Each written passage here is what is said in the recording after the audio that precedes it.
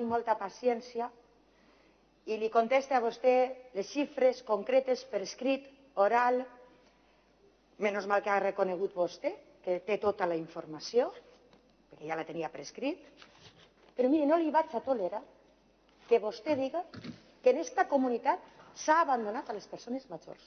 No li ho vaig a consentir, perquè no és veritat. Perquè si vostè fa aquesta afirmació i sap vostè que m'ha guardat jo molt de fer comparatives en xifres, perquè és molt dolorós tindre 566 morts, des de luego que sí. I jo els visc tots i cadascú d'ells amb molt de dolor.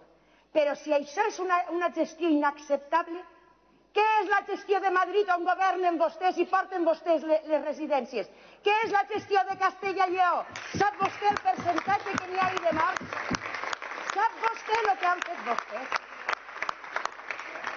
No li tolere, perquè en esta, en esta comunitat ninguna persona treballadora d'una residència ha eixit correguents. Ningú bomber ha tingut que entrar a les residències i trobar-se els morts que portaven dies allí. Això no ha passat en esta comunitat.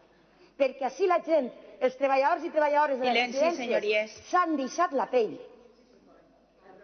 I perquè la conselleria ha estat al front, i jo al front de la conselleria, dia i nit d'esta pandèmia. Igual que la consellera Barceló, amb la qual he parlat tots els dies, en videoconferència, en presencial i per telèfon.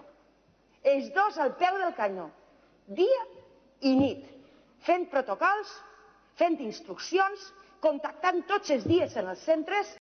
Jo les estic donant les dades i el que s'ha fet i que s'ha estat al peu del canó.